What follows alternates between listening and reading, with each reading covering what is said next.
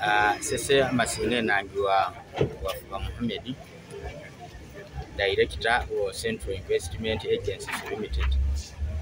Managers ba street parking mu town. Uh, lwebizire nga bibawo nga public bibona nakyerere ekyamoba n'okooti mbale city council beyakuleta ano mu kooti ngegana bagigranting orders zekukuwonefu mu street kuba nga teukoleramu da whereby kooti yana kudismissinga interim injunction.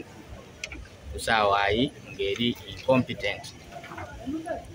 Era bawere ruling ya temporary injunction nga abiri mu tano yes kusuubira kuti era nayo kuna wininga era kusiima lawyer Edna Ngulu okuli representing effe nga ba Central Investment kuba nga akola gumulimu gumugali mabi gwekuyoderesa ni kufailinga defense yeffe indayi